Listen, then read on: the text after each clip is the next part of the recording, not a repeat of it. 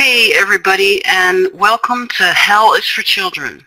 This show is on every Saturday at 3 p.m. Eastern Time, which is 2100 hours Central European Time.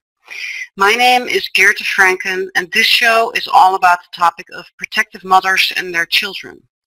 So what's a protective mother? A protective mother tries to protect her child or children from their abusive father by many means necessary which is an uphill battle in today's global corrupt family court system that thrives on paternal entitlements. And let me start with wishing everyone a very Merry Christmas on this 2016 Christmas Eve. And in particularly the protective moms who are watching tonight since most of, most of us are not celebrating Christmas with our kids and that is extremely difficult. Um, I want to start this show um, by sharing a Protective Mother um, fundraiser for our show, to keep our show on the air uh, for 2017. And you can find um, the fund drive here on GoFundMe. We need $1,200 a year to stay on air, so if you can make a donation, I really appreciate it. Um, we're due for January, so please everyone, um, even if you can just spare five bucks, um, it's very much appreciated. Um, so that's where you can find that. Um, and without further ado, um, I want to introduce Protective Mother Scotta Campbell. And um, Scotta uh, lost custody of her daughter to her abusive ex in an international custody battle despite evidence of child molestation. And Scotta is joining us from Norway this evening. So welcome to Hell is for Children, Scotta. Thank you, Geerte. Thank you very much for inviting me on your program. Um, I would like to start by saying um, I'm not a victim that I'm a survivor. Uh, and I'm a warrior mother who did everything under the um, hellish circumstances as a single protective mother uh, to my one and only daughter, Hedda, from court abduction and abuse by the criminal world court system and in the support of the abusive father.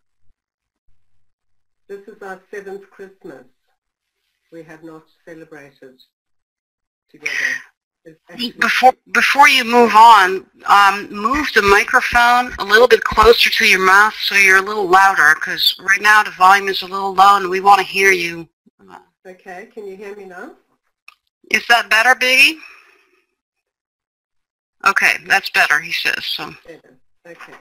So you haven't seen your daughter uh, for seven. You haven't had her for seven Christmas. Seven Christmases this year, um, and um, this is Christmas Eve in Norway, and this is when we celebrate Christmas. So it makes it impossible for me to celebrate Christmas. um, so I would like to wish for a Christmas gift uh, for all the mothers the motherless children of our uh, court abducted, court abduction to the abusive fathers around the world to be reunited with the mothers. That's my wish and gift um, that I would like to give. And I believe this is all our wishes around the world. Um, it's, it's the gift we want. And I think our children too would desperately want that. Yeah. So that's uh, what I have to say about that. Um,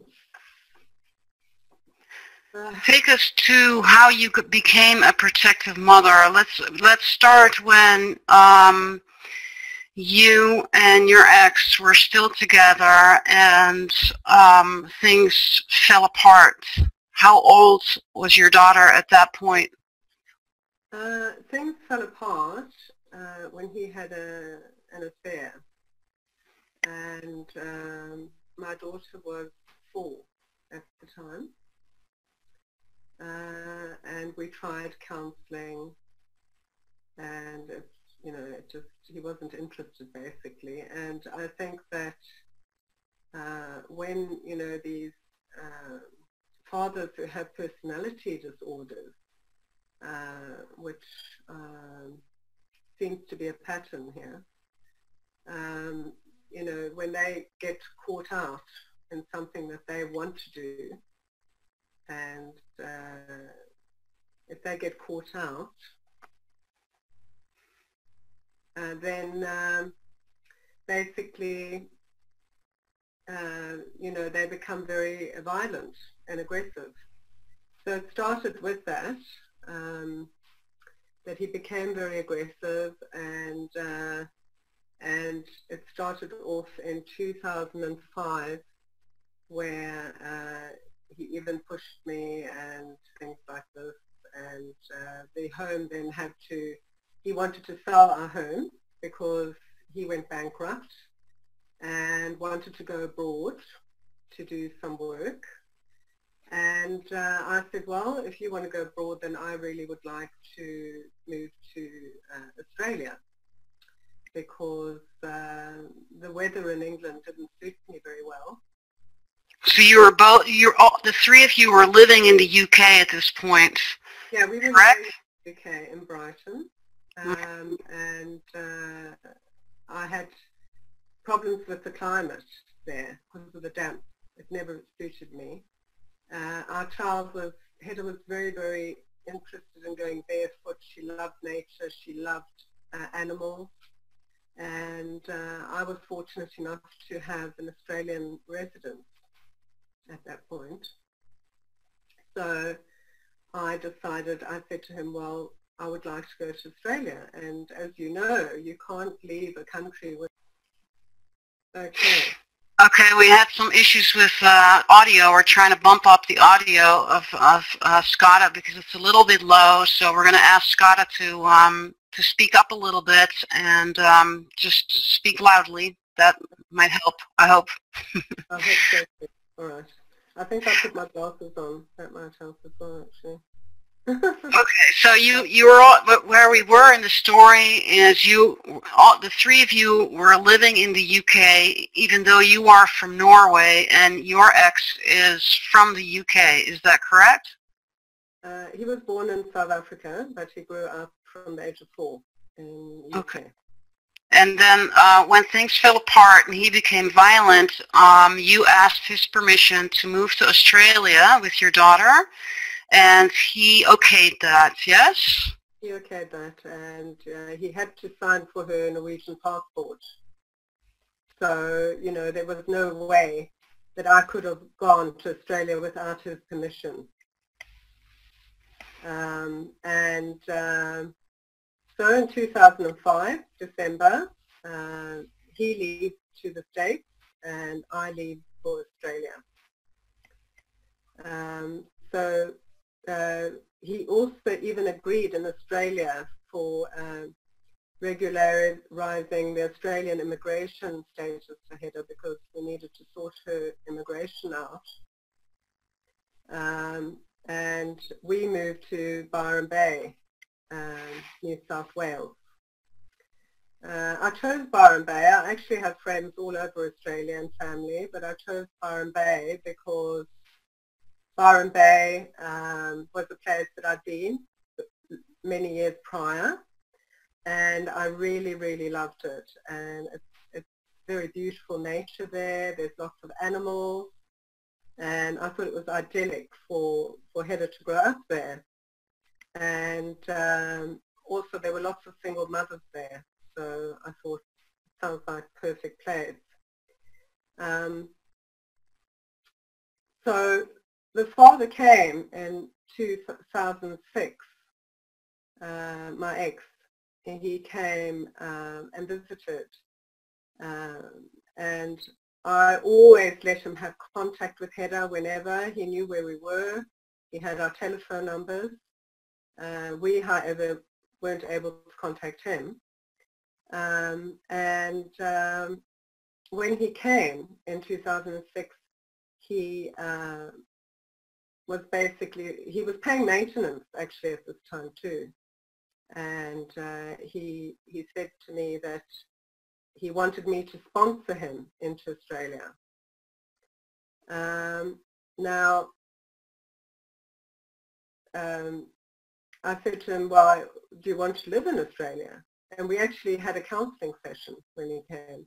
And he said no, he had absolutely no intention of living in Australia. He, uh, he wanted to live in New York. But he wanted to have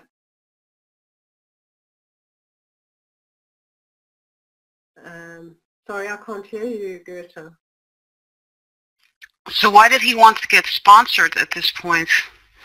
Well, he said that it would be much easier for him to come in and out of Australia than to to apply for visas, which you know made sense to me at the time because I wanted to encourage their relationship despite our relationship. You know, uh, that wasn't very good. Um, so I was an encouraging parent um, all along. Um, and uh, so I did. We went um, to Brisbane um, and filled out all the applications. And that night when we came home, uh, he assaulted me for the first time really badly. Uh, threw me across the room and I was concussed for 24 hours and uh, it was winter and I woke up naked on my bed uh, with blood down my face and of course like a lot of us mothers we don't do the right thing. Uh, I didn't call the police. I went to wash off the blood because I didn't want my daughter to see me like that. And um, so I didn't call the police. Um, we, we also, um, he left the next day after that happened. Um, so the next time he came was in 2007, uh, January, December and January actually. And I wrote him a letter. I had a lawyer's letter stating that I wanted a divorce and uh, he was not allowed to stay with us, you know, this time. Um, he ignored my lawyer's letter. He ignored my request uh, to not stay with us um, and just arrived. And, uh, you know, when you have never been in these situations, you actually don't know what the right thing is to do. You're kind of like helpless and and he knew that I knew nobody there yet. You know, I was pretty new, so I hadn't formed like really strong bonds. Um, and um, so we went to uh, actually a parenting plan and had a parenting plan made out by a very good ex-lawyer. Uh, but when it came to the signing, he refused to sign it. Uh, so he goes abroad again. Um, and um, uh, also on that visit, he, he um, took my daughter when we were walking on the street and he just sort of grabbed her and ran off with her. And it was just all crazy, you know. So I went to the police, actually, at that time. And I said to them, look, I'm being bullied. I'm, I, you know, I've, I've had this experience before. And he's running off with my daughter. This is just really like uh, not very um, good for our daughter, you know, uh, this behaviour. And they just basically, the police in New South Wales, in, in Byron Bay, New South Wales, said to me, uh, basically that uh, unless I had black and blue bruises, they wouldn't do anything. It's ridiculous. They should have given you a protective order against them, you know? Yeah, they wouldn't. They wouldn't.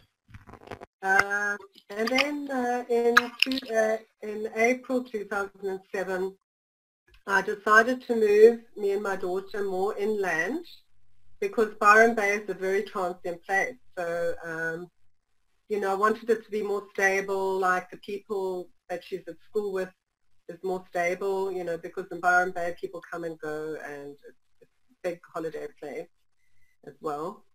So we moved to Mullumbimby and I moved my daughter to the most idyllic place. Uh, it was Upper Main Arm School. It's um, uh, it's, it's quite a hippie kind of place, but it's fantastic because it's uh, at school there, you know, you have lots of peacocks wandering around. It's, uh, you know, they were doing gardening and they were learning how to grow their own vegetables. They had circus classes, yoga classes. I mean, it was just fantastic. You know, it was also a public school, it wasn't private, you know. Um, and I got a lovely home where we had avocado trees, we had goanna lizards walking through our garden, we had kangaroos, we had um, echidnas, you know, I mean, it was just a beautiful place. That sounds wonderful. Yeah, really wonderful place. And um, so we moved there and um, and then um, all of a sudden uh, my ex Chester he he now gets himself a, a job in Sydney. Okay, so he moved to Australia after all. so he moved to Australia in October 2007 uh, and I thought well that's okay.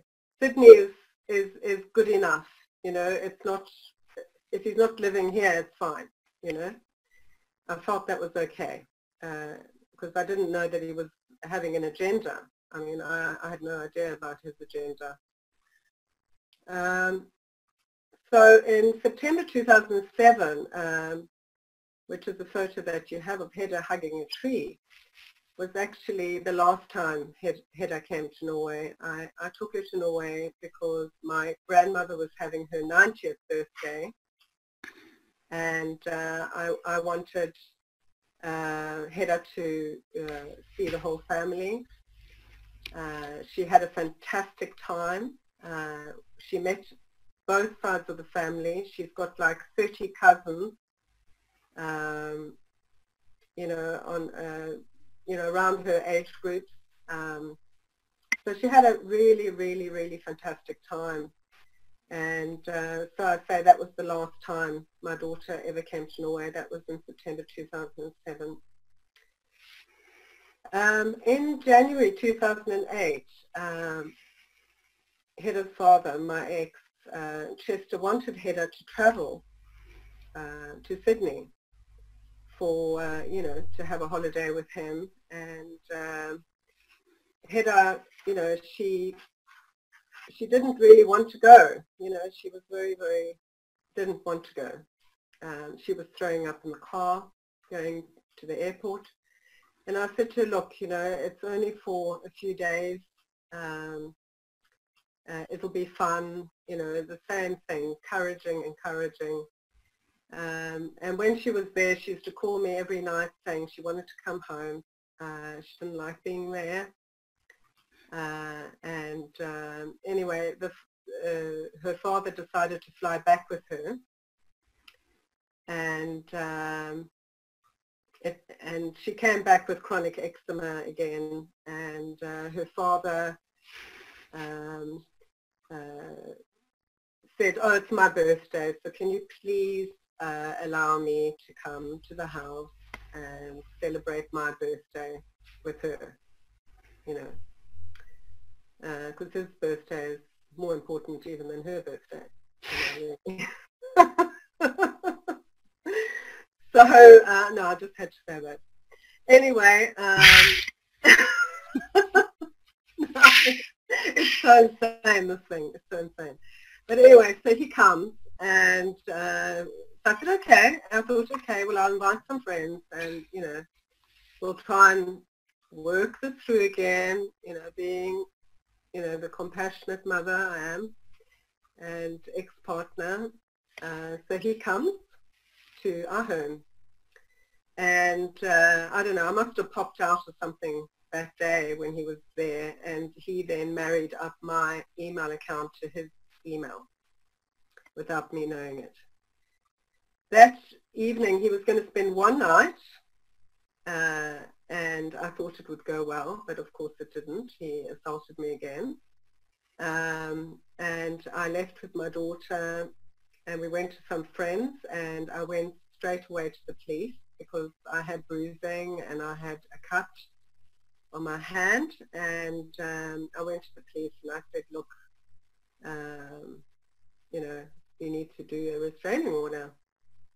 The policeman said to me, because he left for overseas again, the next day. And he said to me, no, because the father's left the country, we can't do that. Um, so now I'm like really concerned about Hedda.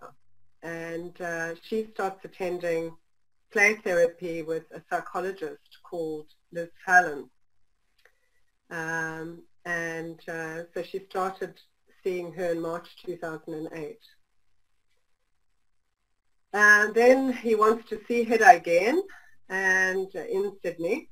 Um, and I said yes again.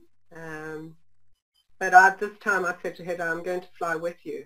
So I flew with Hedda down to Sydney because I was I decided to go to Alice Springs so I could fly down with her and pick her up on the way back. Uh, I had a friend in Alice and uh, I have always had a great interest in Aboriginal art. So um, I flew down to Sydney um, and her father was very delayed in picking her up, which nearly caused me to miss my flight. And he came and he snatched Hedda from me and really hurled abuse, verbal abuse at me. And I was absolutely shaking, you know, because I, I just thought, you know, how this is affecting Hedda. And so I went to Alice and every night Hedda called me and said that she wanted to come home. She wasn't happy. Uh, she didn't like staying where he was staying. And um, I, whilst I was in Alice, I actually had the prospect of getting work there because I was so driven by the art of the Aboriginal people there, um, which I absolutely think is so fantastic and very inspiring. Um, and so uh, I just mention that because of the marrying up of my emails. Um, so I went back to Sydney, picked up Hedda, and she again had chronic eczema, uh, was so happy to see me. She just like ran and just, you know, jumped into my arms and and I just thought there's something that just doesn't seem right here somehow. Um, why why is she so unhappy? Um, uh, and I was attending domestic violence counselling at this stage um, as well. Um, now, as soon as I had applied for this work, or with the prospect of moving, the father moved into our area.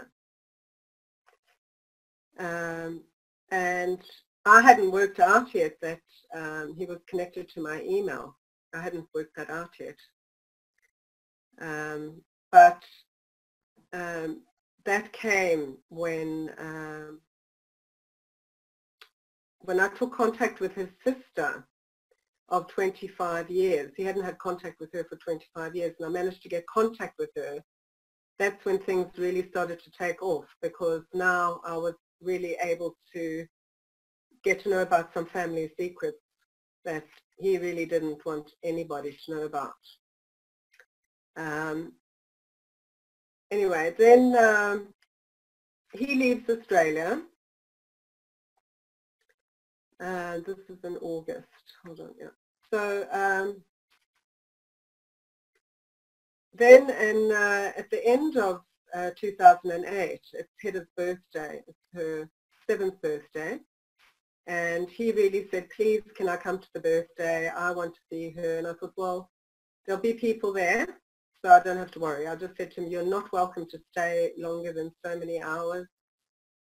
Um, and he invited people that I didn't even know. He invited people I didn't know. He invited uh, some children that he had met with Hedda that I didn't know. So, you know, he does all these kind of outlandish things at times.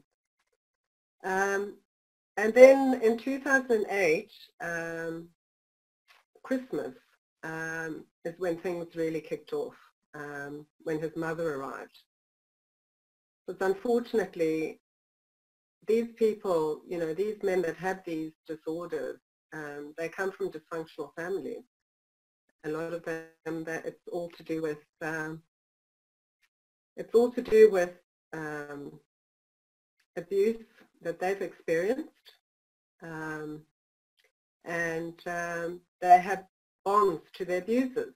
So his mother, who had abused him and his his siblings, uh, came to Christmas to help him with the situation because his sister was involved and she's been sort of blamed for being the insane person in the family, you know, because she got away, basically. So when the mother came, I still didn't, didn't really know about the internet thing. So when his mother came and he said, oh, you know, I want uh, mom and I to spend Christmas with Hedda, and I again said yes, that's perfectly fine. And um, Hedda went to spend Christmas with them, and I said to them, but if Hedda wants to come home at any time, then she must be allowed to come home. Um, then on Christmas Eve, his uh, mother phones me to wish me a Merry Christmas for you. And um, she says to me, um, we were we were at your house today, but you weren't there.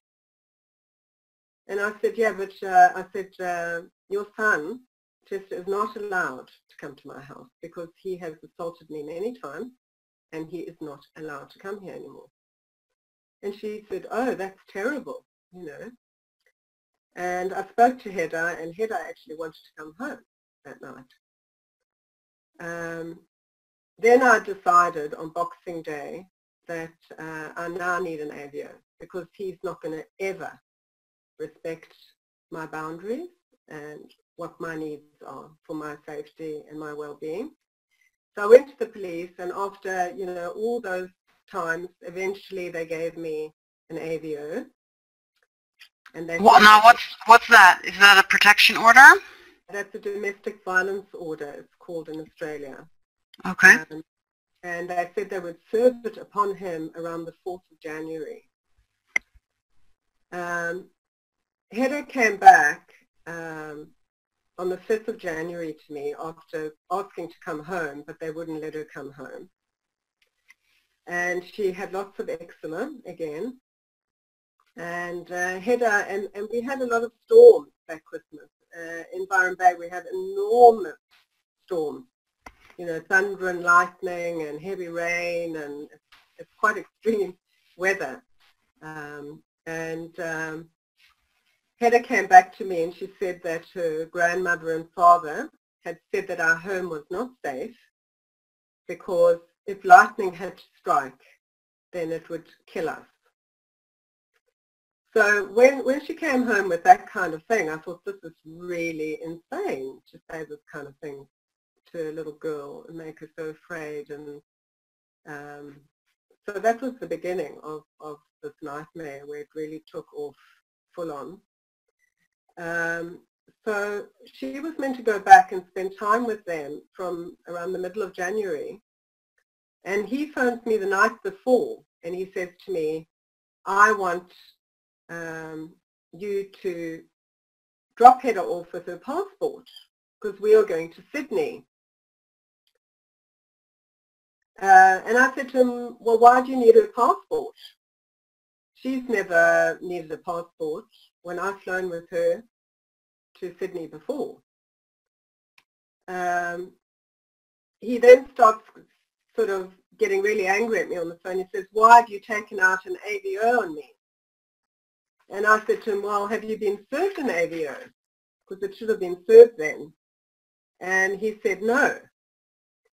So I said, well, how do you know that I've served an AVO? And then it became clear to me that he's reading my correspondence.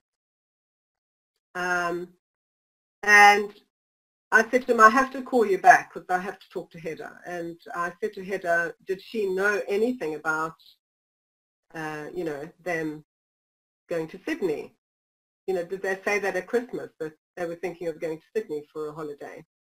And she said she had never heard them mention that. And Hedda said to me, Mom, I don't want to leave this area at all. I don't want to leave. I don't want to go. So I went to another friend's place because he had threatened me to come and pick her up. So I went to a friend's place and got her to call her father and to tell him herself that she didn't want to go. Um, and uh, what happened after that was that me and Hedda were walking through the local town, uh, Brunswick Heads, which is sort of the seaside town closest to Mullumbimby. Um, and we were being stalked by them. And uh, the grandmother comes out of the car and starts chasing us on the street.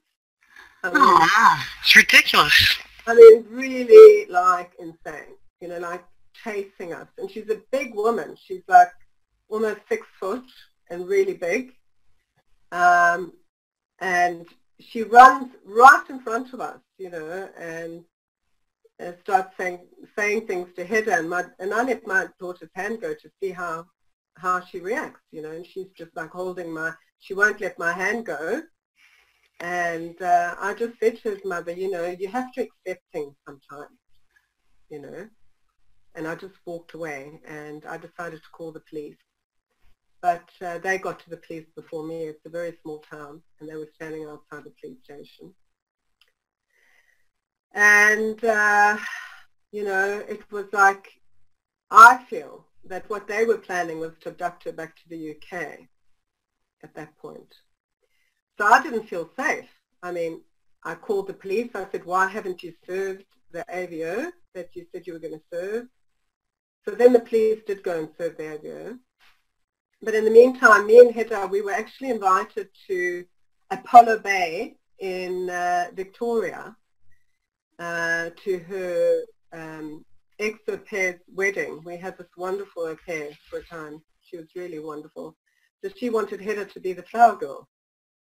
Um, so um, I decided to go earlier, buy tickets, go see my family in WA. I had my grandfather's wife and uh, their child, who's my uncle, because uh, my grandfather remarried. So I have an uncle three years younger than me, and he had a child Hedda's age. And I really needed to see my family now. I just, I, I found this behavior so outlandish.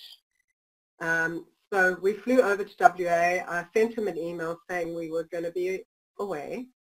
He had called my family and he called the family in Apollo Bay to make sure that we were going there. So he knew, you know, it was all confirmed. When I came back on the 27th um, of February, we were away about a month. Um, we came back to my home and um, I was with a friend and her two children as well and the, the federal police arrived, uh, these great big guys with guns with, um, you know, khaki outfits on. They said, we, we taking, we, we taking your daughter. I said, why? They said, uh, you've absconded with your daughter. I said, I have not. You can um, come into my home. You can see that all my things are there. I have not absconded. I went on a holiday, um, and the father knows this. And uh, I said, well, you, you've got to phone DOCS, which is social services. Um, they phoned DOCS. Um, they didn't want to get involved. Uh, the police officers had no papers whatsoever to serve on me. Um, they said, if you don't get your daughter ready in five minutes, and I suggest you get yourself a lawyer, we are taking her by force. Uh, Without an order. I mean, how crazy is that? I mean, how insane is that? It's totally unlawful. It is unlawful. It's criminal. And yeah.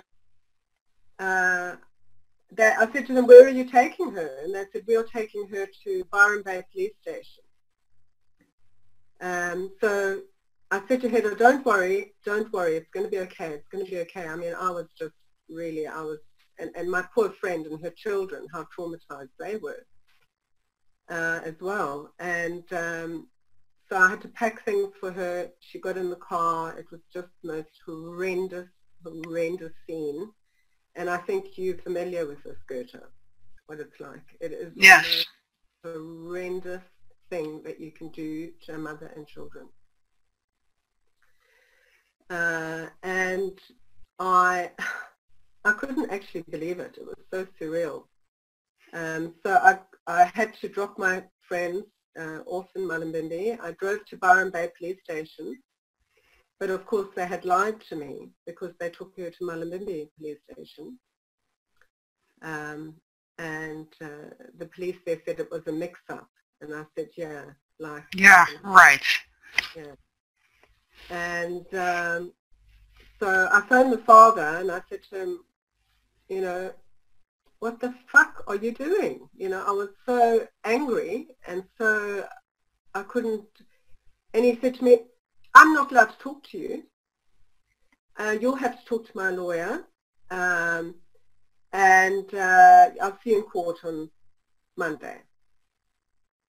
I mean, and even these, these authorities are not even looking at the fact that there's a protective order in place. I mean, this suddenly just gets swept no, under the rug.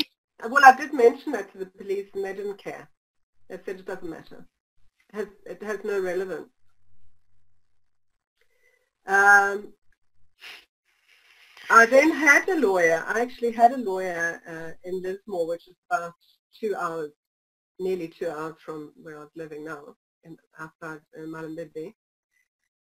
Um, we were looking at my domestic violence injuries because I'd actually got injuries from it and I could make a claim.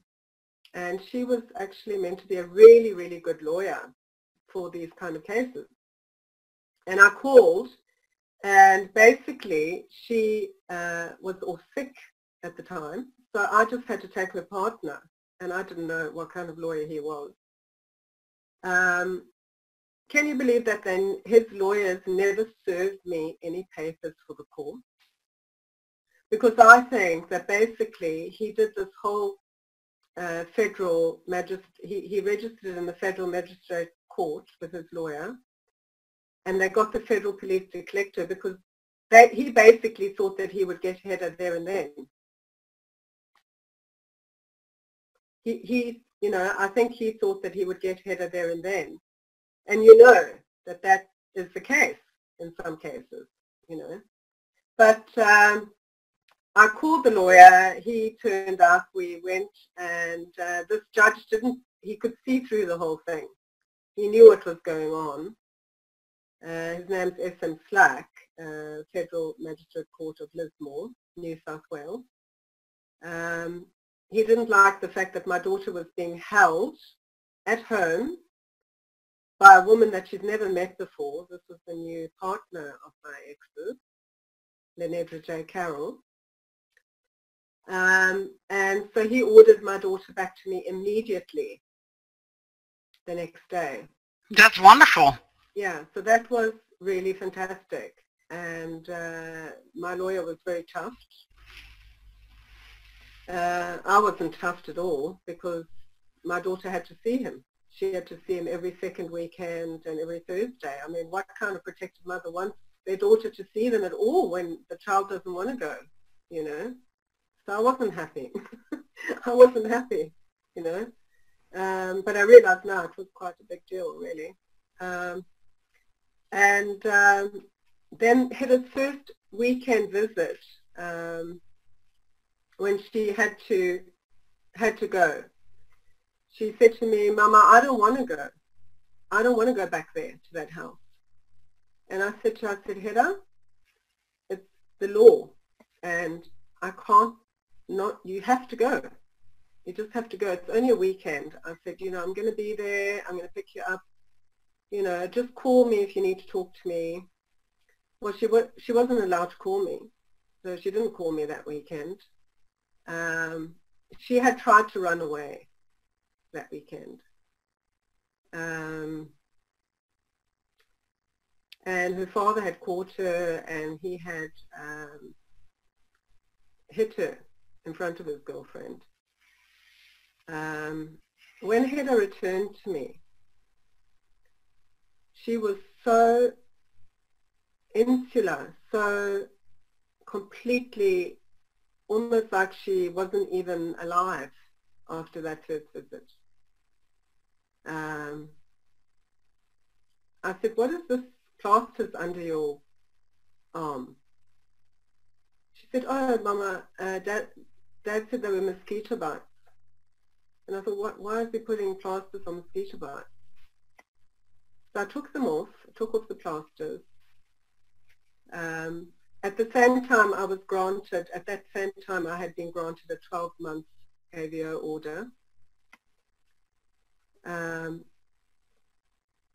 after that, Hedda started to birth sores. I mean, she started to what? She started to birth these sores all okay. over her body. Like, it was so extreme, these sores. And um, she was waking up in the night screaming with complete pain while these sores were birthing. And I went to the doctor. Um, they didn't, they said it was shingles. Um, yeah, this is the first picture. That's it. That's um, how you can see how, how the sores, and that was actually when they were healing. That wasn't even when they were coming out. And um, it was so shocking, and the doctors were giving antibiotic after antibiotic. Nothing was working. Uh, I had to wash, you know, clothes and sheets every day because they said it could be catchy. She didn't. And after a month, the, the court psychologist, Anthony Smith, and my ex-husband's lawyer, Bobby Crane, and my lawyer, Paul Denmead, were all pressurizing me and saying if I didn't take her to the psychologist the, at court, there'd be huge consequences. Um, I couldn't believe it. And I spoke to the court psychologist and I said, can't you make a home visit? You know, Hedda's got a fever. She's really ill. She, um, she can't go out, you know. Um, um, could, could we show those a bit later, Geerte? Yeah. I just want to show the audience uh, what she was suffering from and the fact that the father wasn't even um, responding to those medical emergencies. No. And the courts weren't either. I had doctor certificates after doctor certificates, um, specialists, um, photographs, and they didn't care. They don't listen to doctors. They had no respect for doctors. Uh, and going to the court to see this this uh, Anthony Smith, the report writer, I said to him, I said, how can you make my child come here, you know, under these circumstances? And he just didn't care, you know, like she had to come there, you know. Um, and um, this went on for three months. So Hedda didn't see her father for three months.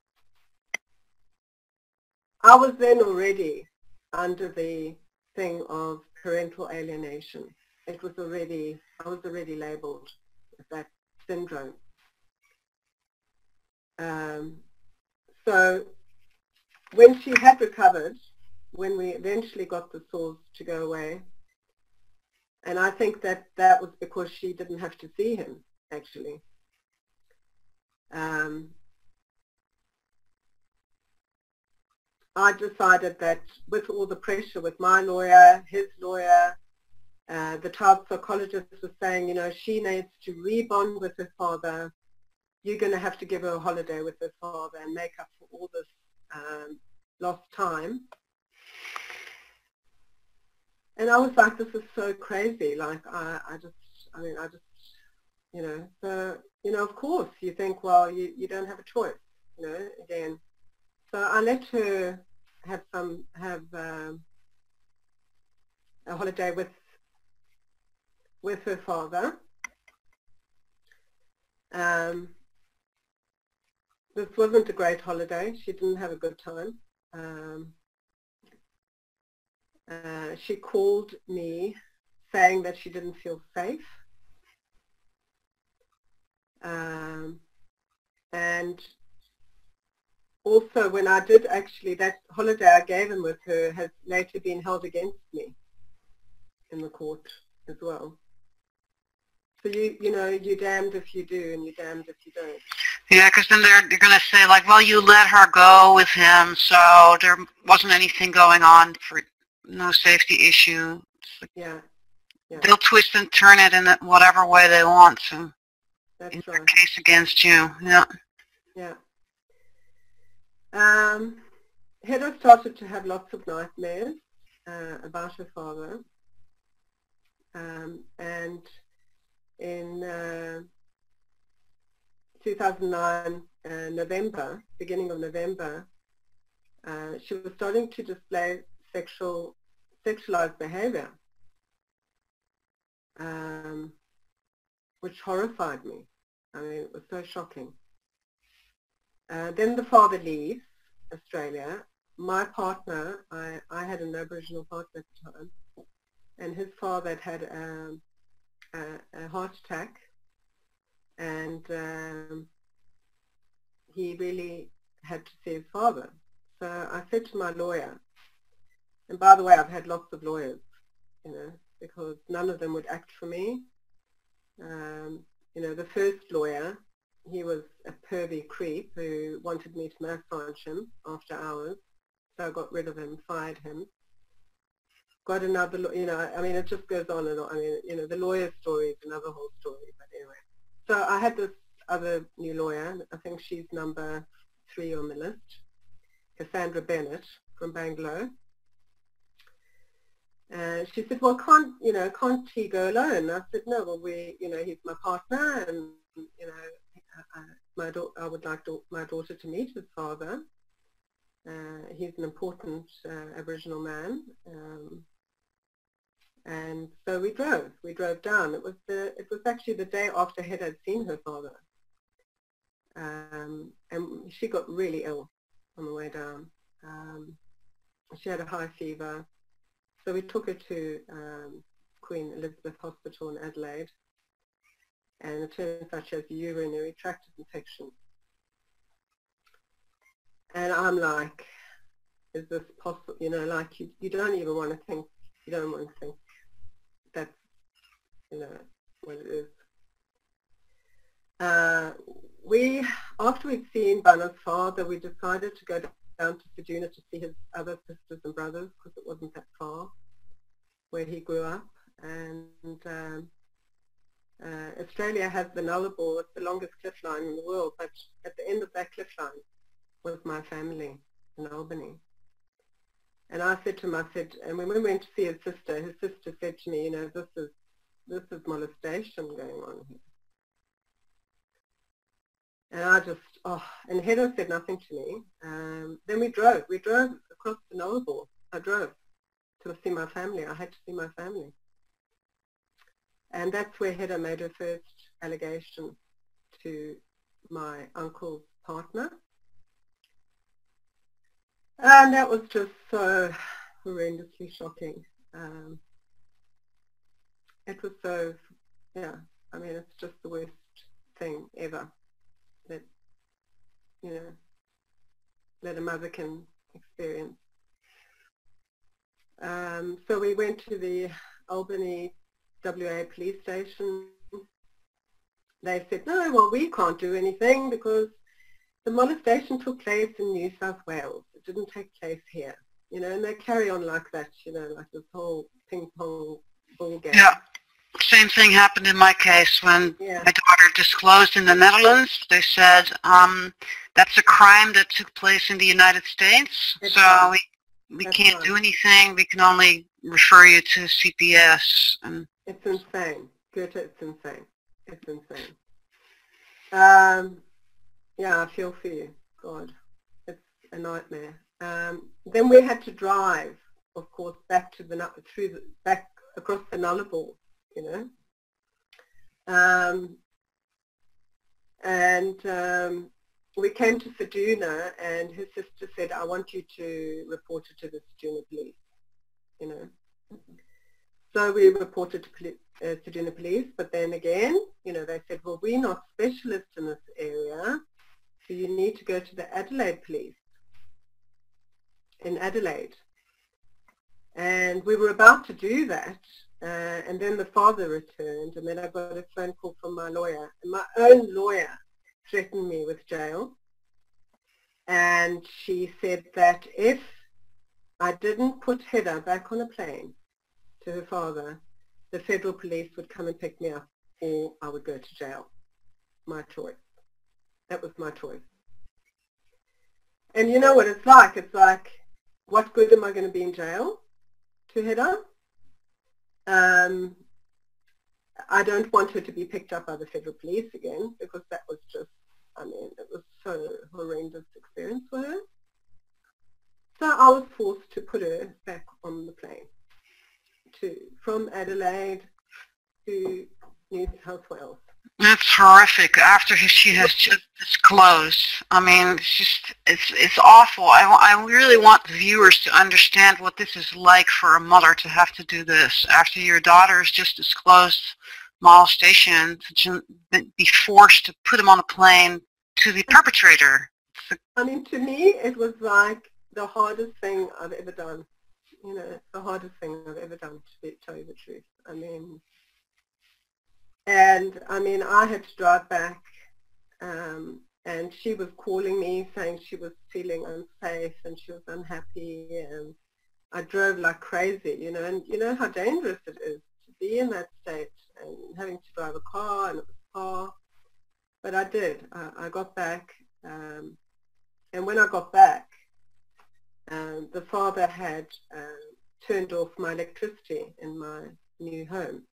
So my fridge was completely, uh, all the foods in the freezer, you know. He used to do things like that, you know. Um, and uh, actually I forgot to mention when we were in the other house, he planted two black snakes in our house, which could have killed Hedda. Um, anyway, so we got back and I picked Hedda up and she had these great big lumps on her on her neck, like this size all the way down. She was in such a state. And you know what it's like. It's like, you know, then you have to heal your child and you're under all that stress and you're trying to make it okay, but she has to go back all the time. Then I fired this fucking lawyer who screwed me, so I got another one. And uh, I, would wanted this lawyer all along, and her name was Nikki Brookland. And she was known to be quite a hard nail um, and she immediately believed my believed my daughter, and she immediately immediately put into place. But then, of course, it's the monitored visits that get put into place. And so the monitored visits get put into place. My daughter has to go. We have to drive now nearly, well, one and a half hours. We had moved a bit. We were on the coast now, living on the coast. Oh, I forgot to mention, the reason why I left the other place, the other house, the idyllic place, was because my ex had um, was having an affair with my landlady and had got her to try and evict me out of my home. Oh my God. this is why I had to move. So I moved to, we moved to a place by the ocean. I had to put that one in there. Um, and um, yeah, you know, this is uh, I mean, there's so much stuff I couldn't even tell you half of it. All that and the snakes and the refrigerator paints an interesting picture on top of the molestation and the assaults. That's right, yeah. And, um, you know, so basically when we're driving to these monitored visits, my daughter's throwing up in the car. Every time she doesn't want to go, so we have to go and see doctors every time and the doctors are saying, you know, this has got to stop, you know, and I'm saying, why can't you stop it? I mean, don't you have any authority to stop this insanity? Like my daughter doesn't want to go, she's sick, she's throwing up, she doesn't want to go, and yet the, the, the law is saying she ha- we have to turn up there, regardless of how sick she is. And by the fifth visit, uh, my barristers now, I have a barrister called Simon Priestley from uh, Lismore Chambers, because, you know, they, I don't know about where you are, but in Australia you have to have a lawyer and a barrister. You don't just have a lawyer. So you have to pay a double whammy. And also I was paying and my ex got free legal aid. Um, And my barrister said to me, Scotta, you have to make her go into that centre. And I said, I'm not making her go if she doesn't want to go. So the first time we arrived there, we had three big adults, two men, an ex-policeman. These are the kind of people that monitor children, by the way, there. Uh, and another big guy and a big woman, and they're standing there and they say to Hedda, you, you know, your dad has driven a very long way to get here, even though same distance, you know, we drive the same distance. And you have to go in and say hello to him. And we'll be there, we'll protect you, and you only have to say hello, and then you'll come out again. So Hedda was bullied into going in there. And she went in there, and I was standing right by the door, and she said, okay, now I've said hello, now I want to go out. And they wouldn't let her out. They made her stay there two hours for the entire stay. I don't know what they told her. I don't know what they did. But after that, she went in each visit. Uh, well, they probably they probably threatened to to take custody away from you or something, you know? Yeah, I think so. I think so. Yeah. Um, so um, then uh, they got rid of the judge, the original judge we had. Um, they got another judge, the right kind of judge that they wanted for this case. And her name is Anne Demack from uh, Brisbane. Um, they also got the right family report writer, Barbara Davies. Um, so what happened next? Yeah, then it was um, yeah, basically, uh, after the visitation with her and him, uh, and we had the main court case on the 8th, uh, I mean the 12th uh, of um, August 2010. Um, what happens there is that I have um, 25 affidavits from local people stating what a fantastic mother I am, I have a lot of them coming to court to support me. I had Hedda's uh, father, my ex's um, stepmother, flew all the way from South Africa to support me um, because she believed that he was not at all capable of being a, a good father, a single parent, or at all have custody of Hedda. Uh, his sister, Annie Dear, also supported me by saying the same thing. His ex-wife, Cordelia Donohoe, also supported me in saying that she didn't believe that he was um, fit to be uh, a sole custodian because of her experience with him and how, how violent he had been with her. And she had provided even a letter that he had written to her about that. So I had so much evidence of his persona. Uh, he wanted me to have a full mental what do you call it, mental health. Uh, like an evaluation. Yeah. So I said, no, I'm very happy to do that as long as you have one. And of course he wouldn't have one, so we never had that. So I never had any, uh, you know, uh, blame for being mentally unstable or, or such thing. Um, but um, uh, oh yes, that was the other thing. Uh, I want to talk about the family report writer, Barbara Davies um, she, I was not allowed, my lawyer told me I was not allowed to provide any evidence to her other than my AVO, my domestic violence report, or my, you know, that I was granted, and my domestic violence um, uh, counseling report. But I wasn't allowed to give any other information to her than my interview. The mother, uh, I mean the, the father, my ex, Chester, and his girlfriend, Lenetta J. Carroll, had written a manuscript like this, which they'd given to the, um, the family report writer. Uh, when I got the family report back, she said that I was um, abusing my daughter because I had made the allegation. Because when she had interviewed Hedda, the way that she made the allegation was very vulgar, so they couldn't be true. Now you tell me, how can a seven-year-old, or no, she was eight then, sorry, Hedda was eight, how can an eight-year-old be vulgar?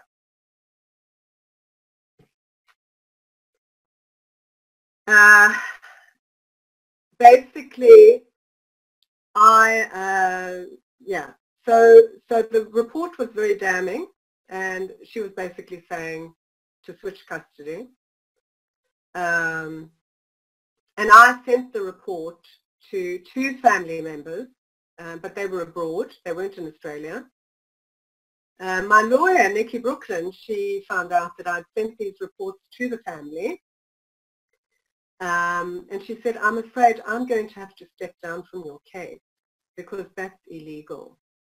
This is a week before my final trial. Um, because these are confidential reports or something? Is that the reason why she objected to that? Yeah. But I didn't, I didn't know that. Yes, she should have told you. and uh, not only did she step down from representing me in my case, but she passed that information on to the other side. So when I was in court next, my barrister was nearly knocked off the case as well because of that. Um, so I ended up having to fire her. Well, well, she fired her. I mean, she she resigned. she resigned, you know. So I, I went back to using another lawyer that I had called Ben Krasenstein. He was also a snake who used to accept money under the table when he worked for another company. I used to say, you can pay me, pay me thousand dollars under the table, you know, like really disgusting. Um, anyway, he, he, re- I had to have a lawyer that knew my case. I had a week, you know, uh, so I had him and I had uh, Simon Priestley from uh, Lismore Chambers. Um, so the, the case is now, you know, you know, my book, my barrister basically, he, he cross-examined uh, Barbara Davies and said that, you know, her report was unscientific. And, uh, you know, there, there was no evidence of her findings. You know? Yeah, it's all his stuff that he has thrown at them. Yeah. But um, I think that my barrister was paid by my ex-husband's girlfriend because she was quite well off. Um, and so after, I think, two days, things really turned because when it came to my turn, for my, for, because um, my ex-husband had all his witnesses before mine. And uh, he didn't have witnesses uh, in Byron Bay. He only had family abroad and they had them on the phone and he had family supporting him um, because they were going against his sister. You know, it became like a whole family snake pit feud, you know. Um, and anyway, so um, on that day that I was going to have all my witnesses heard, I was called into my barrister's chambers with my lawyer and my um, my, my daughter's grandmother from her father's side was with me she was a forensic psychologist in South Africa and she had gone to many court cases. And um, basically they represented me with this paper and they said, if you don't sign this paper, you will never see your daughter again. Oh, that's, that one sounds familiar. I've heard that one before. Same uh, thing happened. Yeah, I've, I've heard that afterwards as well. Um, so at the top of the paper it says basically uh, do you agree or disagree? And I, of course, circled disagree. And I had to say that there wasn't enough evidence of my daughter's abuse, even though there was a psychologist report from Liz Fallon stating everything in there. All these people that had witnessed my daughter with her sexualized behavior, uh, his, you know, all, I had such incredible evidence of, of what was going on. So I said to I said to Sheila, Sheila Berry, the you know head of grandmother by proxy, I said I can't sign this. She said, Scotty, you're going to have to sign it. If that means that you can't see Hedda again, you're going to have to sign it. It's pure extortion. It is blackmail. It's blackmail. And so I had to sign it. But of course, then when I go into court, and Demack says, well, now you're going against everything that you've stood for, you know? Yeah, same thing happened to me. The exact same thing. It's, it's like, it's, it's, it's like a standard thing. Um, and do you know the main reason why I lost custody of my daughter is because I was too enmeshed with my daughter. I was too enmeshed. Yeah, how about attachment parenting? That's supposed yeah. to be the best thing for the kids, and then it gets used against us. It's so disgusting. I mean, it's against everything that stands for Mother Nature, and nurture, and and and you know that I had I had my daughter at the court, and the judge didn't want me to even be allowed to say goodbye to her. Our stories are so similar, Scott. yeah, ridiculous. well, I can tell you, Geerte, there are other stories out there that are the same. They're the same. Yeah, as a matter of fact, there are globally an estimated 8 million of us um, you and I are in another separate section of those 8 million because we are also dealing with international aspects which makes our cases even so much more complex. It's a nightmare. It's a because we, we have about 45 minutes and I want to make sure we get your story in. Yes. At this point, do I understand it correct that when he got custody of her, he took her to the UK? No, um, that wasn't. There was a bit more to it than that. Uh, okay. He, he um, well, then I got six months monitoring visits. Okay. Uh, I had to do monitor visits with her, and then after six months, I could see her on weekends. Um, you know, and the first visit, he held her away from me, and it was on my birthday.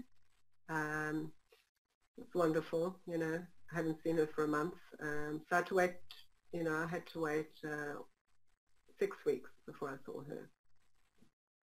And she was so ill. She was so depressed.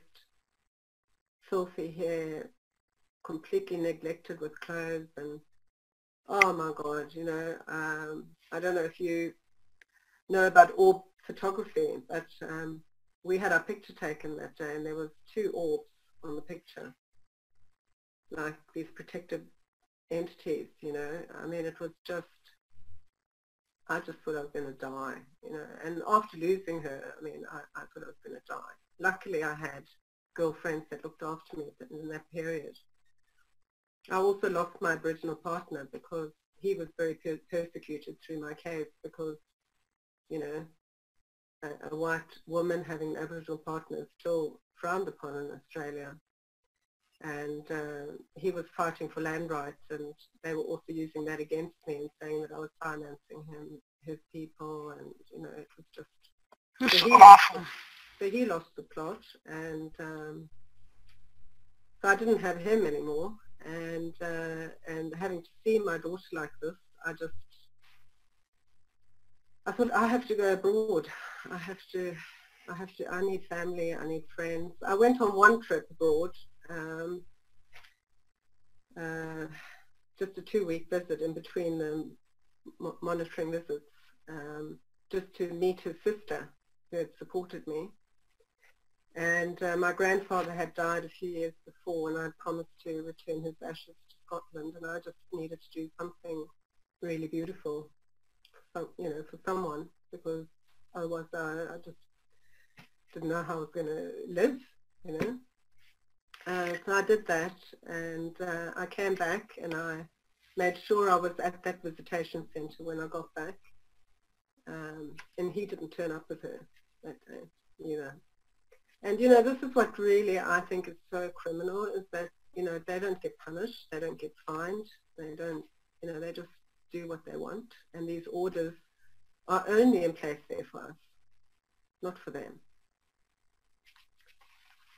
Um, then came the first weekend visit, um, which is actually my photograph that you have on my page of me and Hedda. Yeah, which one? Uh, where I'm wearing white and she's in the stripy outfit. Um, and that was our first day that we met out of the centre. And I had a friend that was a photographer and uh, I said, please, can you take some pictures of us? Uh, I said, I know it's a bit crazy, it's the first time seeing her, but I, I just, I need to take some pictures. I'm not sure I'm sh- going to be sharing the right no, one. You don't have to share that. You don't have to share that, but it's on my front, uh, my front picture with me and Hedda that you've advertised. So, oh, okay, on the show announcements. Yeah, so we did some wonderful pictures, and then I saw her once more, and I just knew that um, I wasn't going to see her anyway for much longer. I just knew it, you know. I knew that I knew what was happening in me, you know, and I needed to see my family. And it was the hardest thing I ever did because I had to leave, basically. Um, I, also had to leave because I had no income. Uh, I'd lost you know, my income for her. Uh, I'd lost my partner.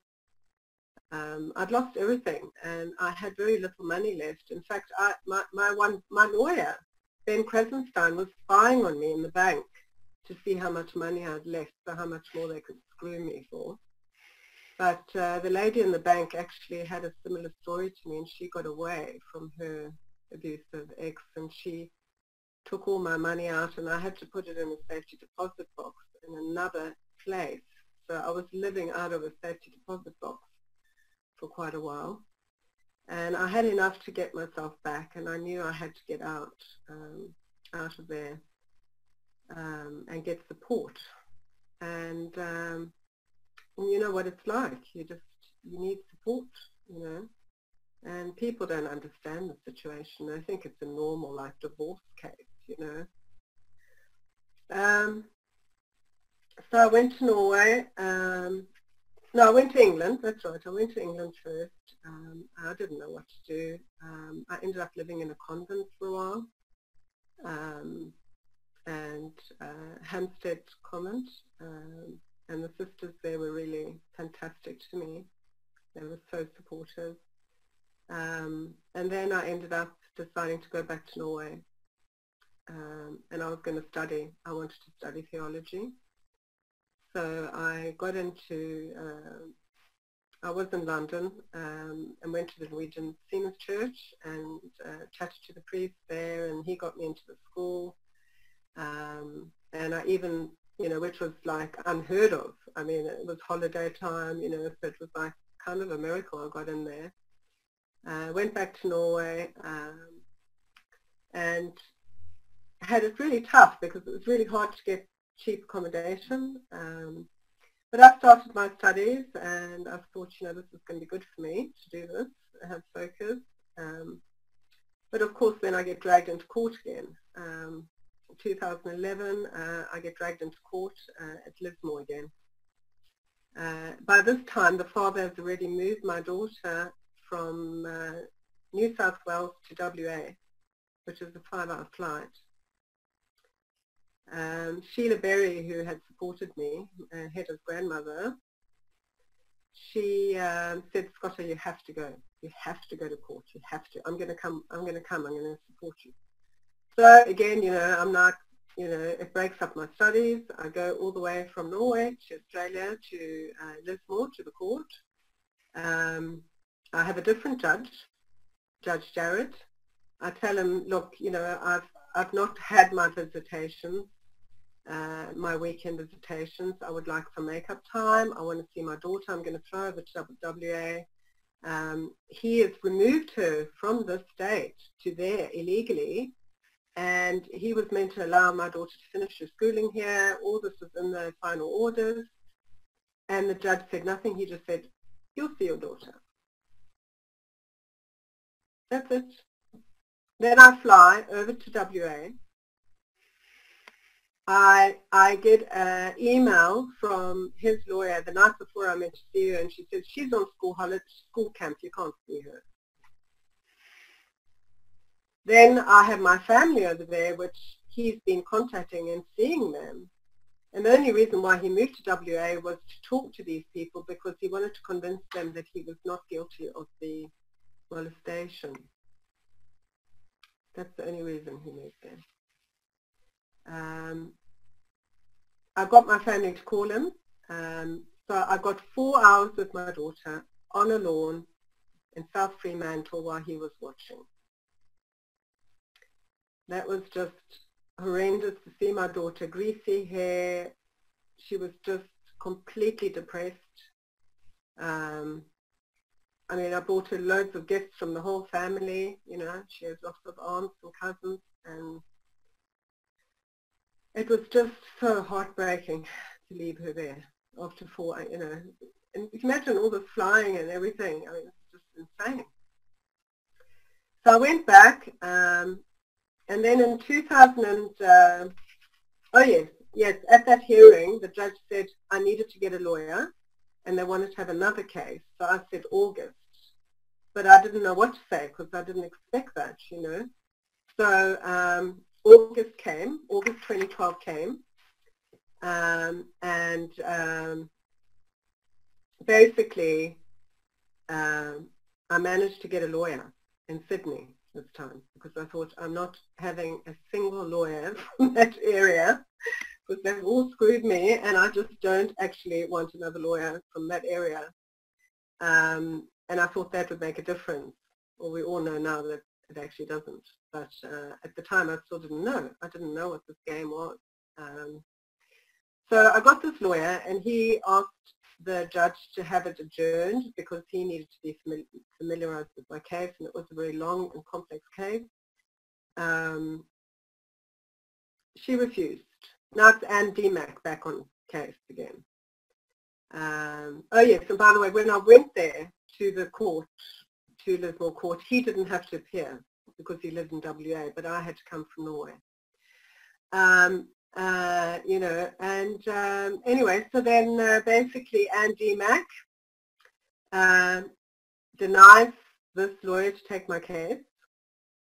Um, she refuses to adjourn it. She refuses to accept my affidavit and threw it out of court and allowed the father to go anywhere in the world with his daughter and have to give me a month's notice. But if he goes to the UK, he doesn't have to inform me at all.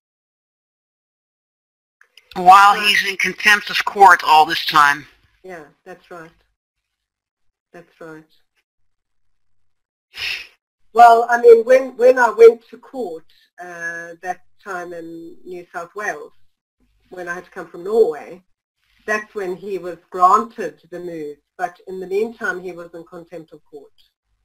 Um, and um, I think that what Judge Anne Demack did was completely criminal because I had I had no say in anything.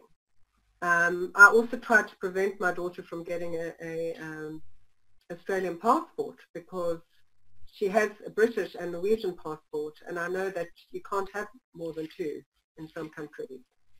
Um, so I, I applied, I, I, did a lot of work with all this stuff, but of course they overruled it.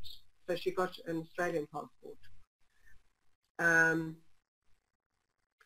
I then, um, then in 2013, January, February, uh, well actually in, in December, the father took my daughter to England, um, but he wouldn't allow me to see her in England and he wouldn't come to Norway. But in January, February 2013, he he said I could see her for two weeks because he didn't have a babysitter for him to wind up his life there. And um, I had a friend in Bunbury uh, in Australia. Uh, it's outside Perth. I'd known her for 25 years. And I, she has a big family, the Italians, wonderful family. Um, and I said, would you have me come and have a stay, you know, so we could stay together? Um, and she said she'd love to have us. So he went to see her and he basically um, said to the family that in order for Hedda to stay there, they had to accept that he was not guilty of the molestation.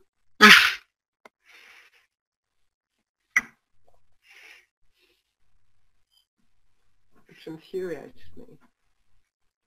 That they had to say yes to that, you know. It's ridiculous. Insane. But I got to spend, uh, now you can show the second picture of my daughter's face. Which one is this? It's one of her face. It's a really bad one of her face. I think it's Okay, when she starts um, having the breakouts? Yeah. It's um, because she started having more um, skin problems. Yeah, now this is how my daughter met me. When I met her in Bunbury, uh, January, February 2013. That's what she looked like when she came to me.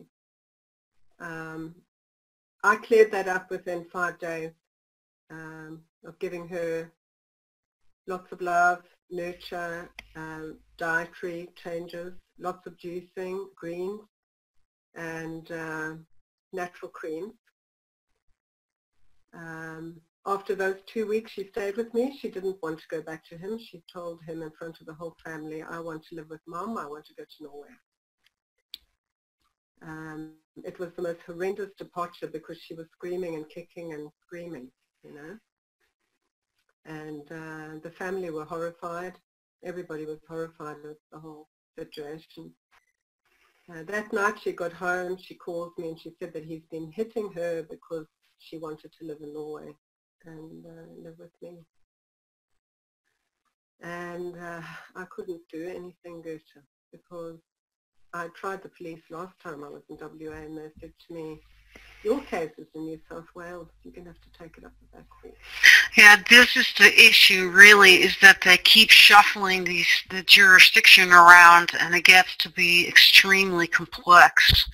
And I kind of want to touch on that because um, your case really explains how um, complex it gets and how involved it gets. And if you go to my website, shreejasmine.com, and you click on the reflection page, um, and you scroll all the way down, I actually address this issue in the solutions um, where I'm talking about international custody situations. Um, one of the things that I'm suggesting is that you know, protective models should be facilitated with the ability to relocate to their country of origin.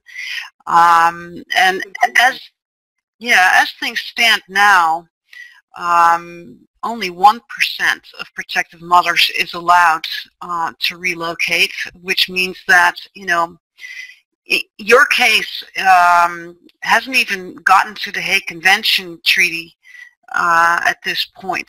But in most international cases, the Hague Convention Treaty uh, is brought into these international custody battles.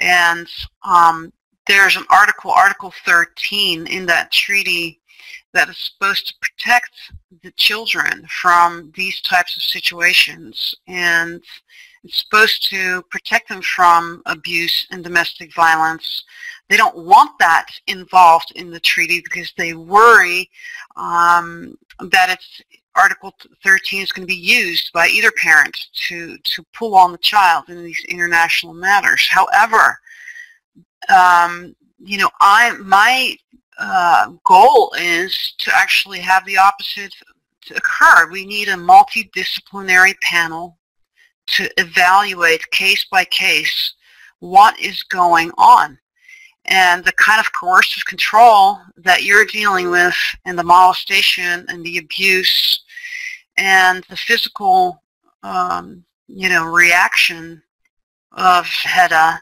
that she had because of her stay with her father these things should trigger that article 13 and should protect any child in such a situation. And then these children should have global jurisdiction so they cannot be held in a country, right? Uh, then the other thing that you're going to have, once it gets real complex, and I've, I know some cases where there are multiple countries involved with multiple languages.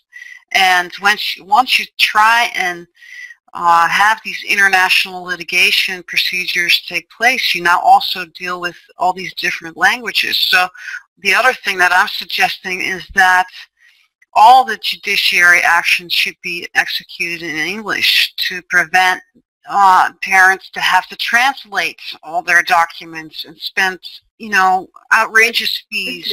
Absolutely. Right? Uh, well, I you wanted to say something there, Gertrude, if I may, like the uh, my, my, ruling of uh, my case um, with the judge. She said that Hedda had no reason to have any ties to Norway or her family. You're from Norway, and that's her heritage, and that judge is no, is, has no right to make a statement like that.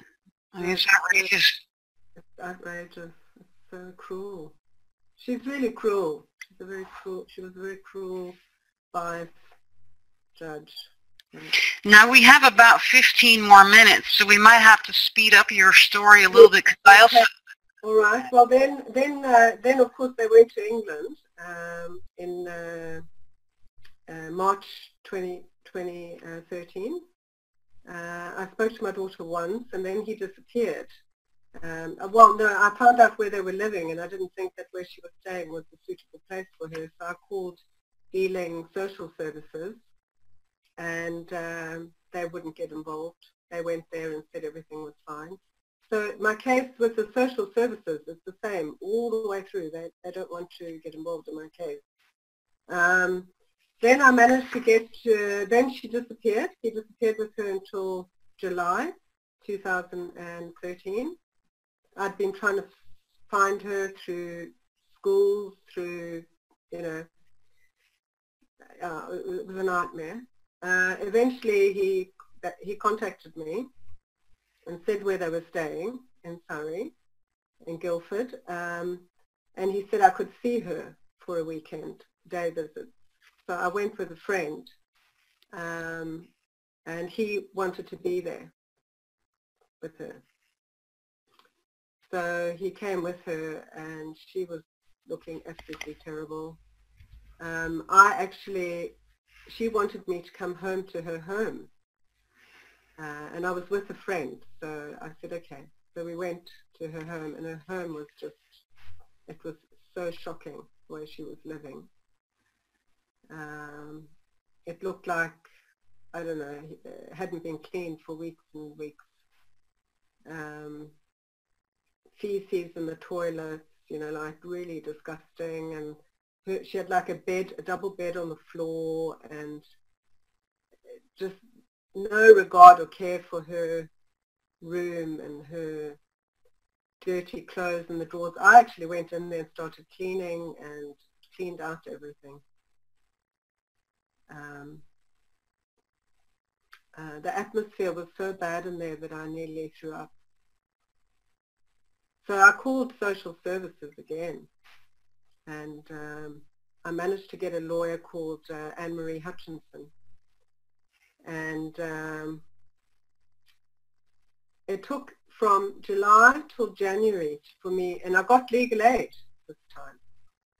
I got legal aid, uh, but it took that long, and so my case was in April 2014.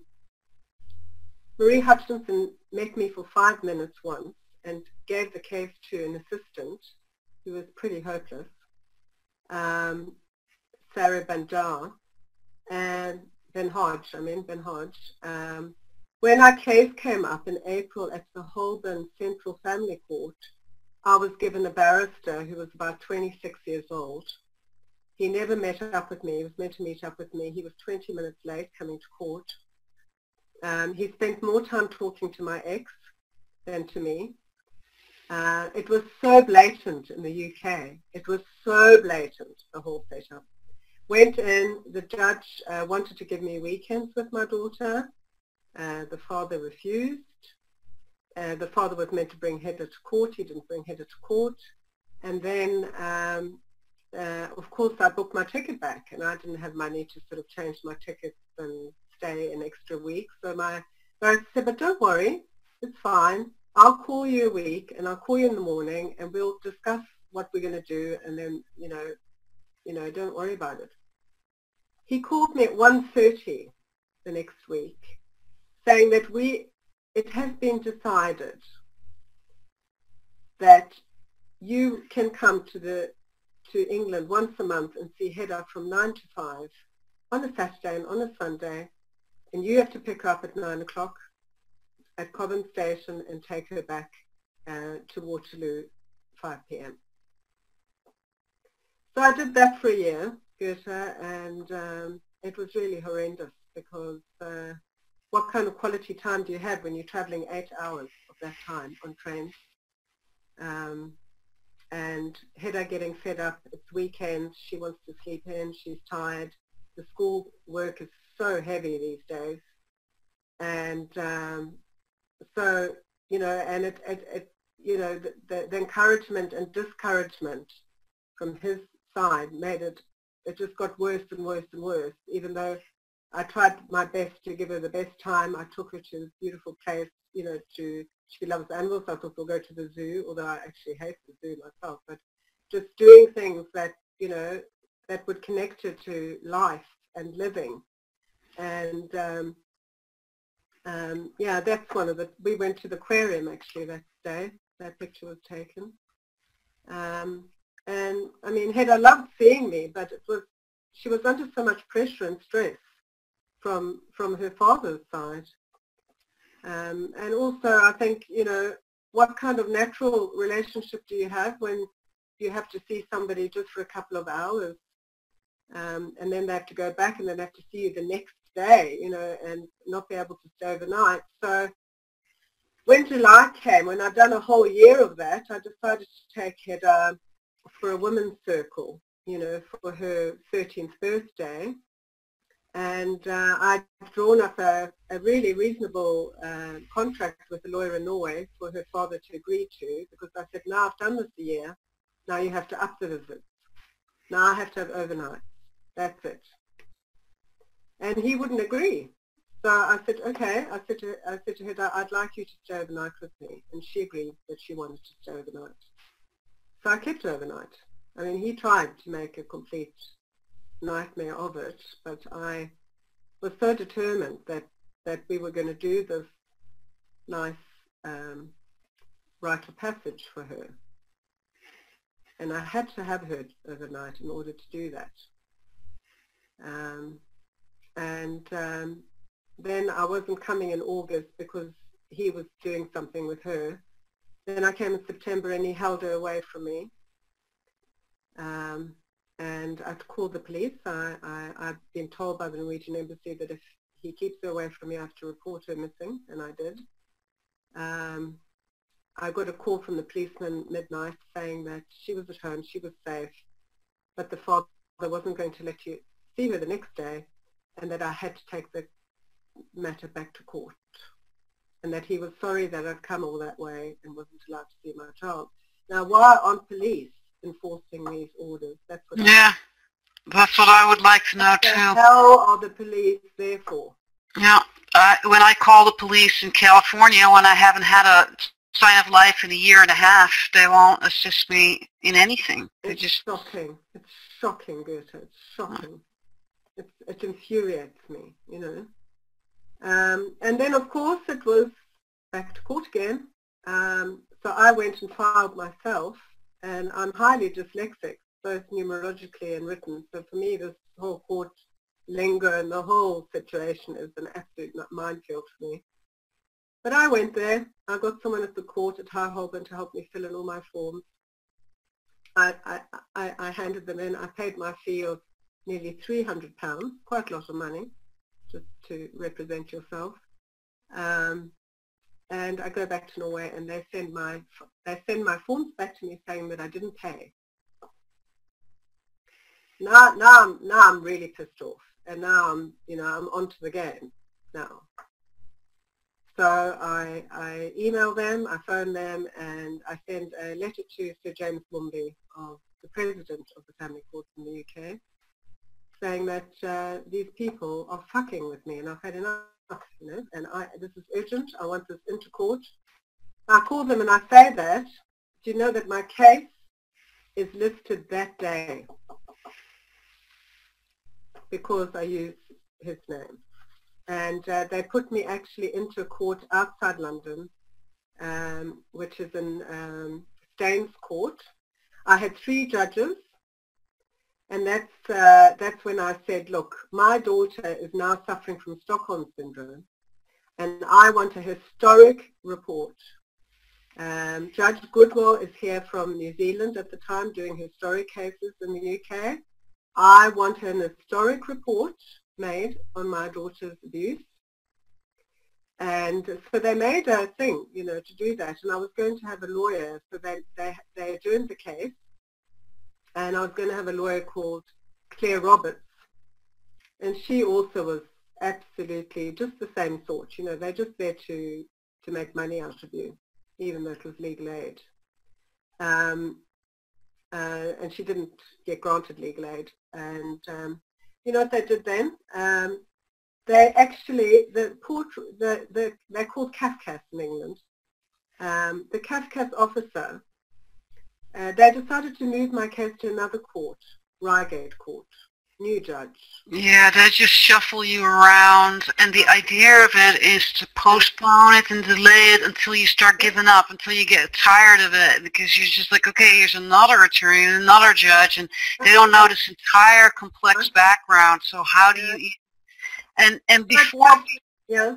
before we get to the end of that, because I think your your story really highlights the international complexity of it, and before you, uh, if you're watching this and you're ever contemplating to move to another country and get involved and have children in our country, contact this organization called Global ARC. They, these are moms in our situation. They have experienced what you and I have experienced, and they started this um, organization to prevent situations like ours for future parents. So if you're watching this and you are planning to move abroad and get involved and have a, a child in another country, check out this website. They also have flyers. Um, this is a really good website. They have they have a Facebook group as well where you can get information, and their purpose is to inform you of the complexity that you might find yourself in. Because as you can see, with Scotta's story, with my story, this affects your own life and the life of the, your child for the rest of your lives. I mean, the, the, the impact is so beyond anything that you can even imagine. Think twice before you relocate to another country and raise a family there. Um, if you are in a situation like this or about to get into a situation where you're in another country and about to face divorce, um, please contact Global ARC and get information and get uh, knowledge because you can see, um, just like in Scotta's case and in my case, if you don't have the information, um, you get hustled around like this. Well, I, I didn't, I didn't. I didn't have the information. Me neither, and that's for so much PSG. Yeah. So chronically all over the place. Uh, we have about a minute left. Give, bring us up to this point within a minute. Like how how often have you seen Hedda in the last year and a half? I haven't seen her since last November. Um, I saw her uh, for 20 minutes before a school play where her father denied her to see me before the school play, but she took it upon herself to meet up with me. Um, there was a picture there of me and her with the flowers. Um, she was uh, in a play. She was the main main character in the play. Um, she was playing. She she looks beautiful. I mean, she's it looks like she's, you know, making every effort to get in touch with you, and I'm really happy about that. The bond between the two of you is not broken. That is huge. It's hugely important. Yeah. And how old is she now? She turned 15 on 25th of November. um, and uh, I sent her, uh, I made her snow mother warrior goddess, uh, snow queen thing, gorgeous thing. Uh, I'm sure she got it. Uh, she doesn't reply to my messages. I have no contact now. He's severed all contact because the last case uh, with uh, uh, Judge Nightingale, um, she has given him carte blanche. Well, I mean, we have to understand the situation uh, the kids are in. Oftentimes, they don't want to be involved in the back and forth and the and, uh, and that's the other thing. And also, I've been denied back to court for two years. They've actually banned me from court.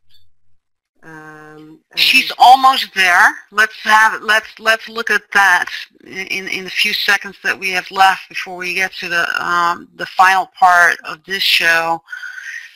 I think with every the horrendous complexity that you have been through and Hedda has been through, mm. the good thing is that she's at an age where this is not going to go on forever. You know what I mean? Like uh, that is a hopeful a hopeful note to leave your case on in the sense that you know when she's 18 she can get out and for all the people that are watching this protected mothers who are watching this if you're in a Hague Convention case when your child is 16 the Hague Convention is over um, the child can go to the consulate of the country of the mother and um, make the choice to, to go home to mom I think that's important to point out. Since your case is not a Hague Convention case, um, you'll probably have to wait till 18. So, you know, I wanted to say hang in there. Um, uh, I, I just, uh, you know, I really, uh, I know we don't have time, but I really wanted to show the Bohemian Grove video, but you could post that maybe onto my link. Um, just to kind of understand what is happening. well, I know you wanted to share that, and I'll, I'll, share my screen here so people can find it. Um, what's really important to point out, and I think that's the context in which you're bringing this video in, is to understand that this judicial child trafficking happens at an elite level. And when people have money and connections, um, these children are trafficked, sex trafficked through the courts. And the, the, the, elite pedophilia, I mean, it really goes up into government. Um, it goes up into world leaders. Um, and they do bizarre rituals. Uh, the Bohemian Grove well, is... It's uh, it's the burning of care, which is the burning of nurture and care in the world. Yes, it's it's it's uh, erosion of morals and ethical behavior, and um, I mean these elite people. And when you watch uh, this particular YouTube video, it'll show you that they do satanic rituals to tra- to traffic these kids, to abuse them, uh, and get away with it. Um, and it is part of their new world order. Um, you know, agenda. So we've shared that. Um, if you want to have more um, um, information uh, about Hague Convention cases, there are um, several cases online you can find, and I'll share one here. Um, you know, the, for, for the moms that are involved in Hague Convention cases, these international complex custody cases uh, where abuse and molestation is involved, they are out of control. There's so many of them. This is just one article on it um, that I wanted to share. Um, my own case is one of it. Uh, you know, you can find it um, at the Free Jasmine uh, website that I created. And you can thoroughly read with evidence how these children are trafficked through the Hague Convention. Um, it's a tragedy. It is a uh-huh. tragedy. But I, I, want to also, on a good note, say that um, there is uh, help for our children. Um, trauma therapy, which is created by Dr. Franz Ruppert. Um, they have incredible results for this kind of abuse and also satanic abuse. Um, so there is actually help for our children when they come back, and um, I think that's uh, you know a really lovely thing to to know and to say. Yeah, you you had some um, some links here. Um, also, Dr. Gabor Mate, when the body says no, which explains why. Uh, well, for me, my daughter's situation with her skin disorders because the body reacts to the traumas that they've been through and uh, this, this has uh, been very deeply studied now. It's actually proven. Um, my teacher in Norway, uh, Marta Tosheim, she's actually done a book on skin disorders and how they link to traumas. So um, I wish that doctors would uh, look more into this because they're only treating the cause and not symptoms. Um, uh, I mean, they're treating the symptoms and not the cause. So, uh, you know, that's very important. And there's also um, Kim Hutchinson who does some very beautiful meditations, but this is an interview on her, on the, the war of women. Uh, the gender neutrality and the war uh, on women is diminishing the power of men and women. And um, I think that patriarchy uh, has a lot to, lot to um, answer for, and I, I really think that uh, patriarchy is uh, the reason why we are going through this hell. Absolutely. And on that note, um, as we all know, patriarchy uh, goes hand in hand um, with money. Um, and I wanted to um, bring this video in that was shared with me yesterday. Um, let me um, share my screen here, and uh, Biggie's going to uh, throw this one live in a second so we can all watch it. Okay. These are judges and attorneys in California, in Santa Clara County, where that are celebrating judicial child trafficking with a Christmas luncheon where um, the main uh, theme of the song is Get Me to the Bank tonight. It is outrageous how blatantly corrupt the courts are and profiting from cases like yours and like mine and like millions of protective mothers around the world. So Biggie, take it away. Let's watch this one together.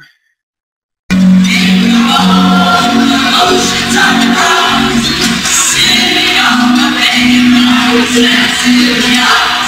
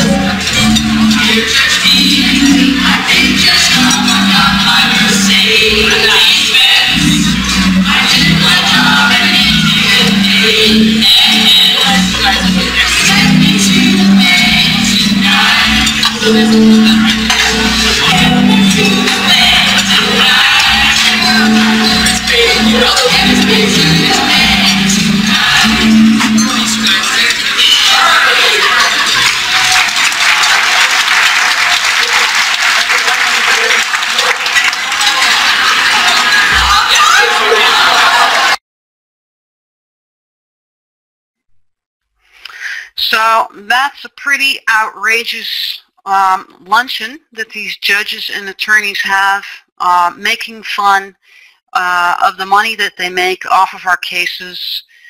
Um, there's no empathy, um, no regards for human rights whatsoever. Uh, and this is really, uh, it paints the picture of what's going on. Mm-hmm. And I want to point out to these judges and attorneys that had that luncheon that you need to realize that protective mothers around Christmas time become suicidal. And for you all to make fun of that is out of control. I never wish what Scotta and I and all the millions of protective mothers are going through for anyone to ever experience that. But to make fun of it is like making fun of Holocaust victims at Auschwitz. So people need to get some grip on what they're doing and the impact that they're making on people's lives. It's out of control. It's outrageous. And on that note, I want to wish all the protective mothers around the world and their ch stolen children some kind of a Merry Christmas you know, despite of the difficult circumstances that we are in. Please stay strong. These holidays will pass, and we will continue to unite and fight what's going on. And in that Christmas spirit, you know, I'm asking you to please stay strong. Reach out to each other. You know, on Facebook there are many support groups. We're all in this boat together if you watched the show tonight and you are alone and you don't have your kids, know that you're not alone. We're with you. We're here tonight live to be with you and to let you know that we love you no matter where you are around the world. And to please hang in there because your survival is number one for your children. They're not going to stay children forever. At some point, our children are going to be grown up and they're going to have their freedom back and they're going to come back to us. And we need you to stay alive and stay strong so we can have that reunion and share those reunions right here on Hell is for Children. Scotta, I want to thank you for sharing your story with us today on Christmas Eve. It's very special. You did a great job um, describing the complexities of these international cases, of this international elite judicial sex trafficking of our children. And I really, really appreciate it because it really paints the picture of how devastating this is and how complex it is having all these different courts involved and the amount of judges and attorneys involved and the amount of money and heartbreak all of this causes us and our children. It is just outrageous that this has happened to you and to me and to all of us. So I can only hope that the drama will end real soon. Somehow we will pray for a divine intervention for your case and hope that you and Hedda will be reunited real soon and you can put this chapter behind you. So thank you. Thank you all the other mothers. Thank you so much, Geerte. Thank you. Thank you for coming on the show. Thank you. And thank you for everyone uh, watching Hell is for Children tonight on Christmas Eve. And I hope you join me again for another episode of Hell is for Children next week. Thanks, and bye-bye, everybody.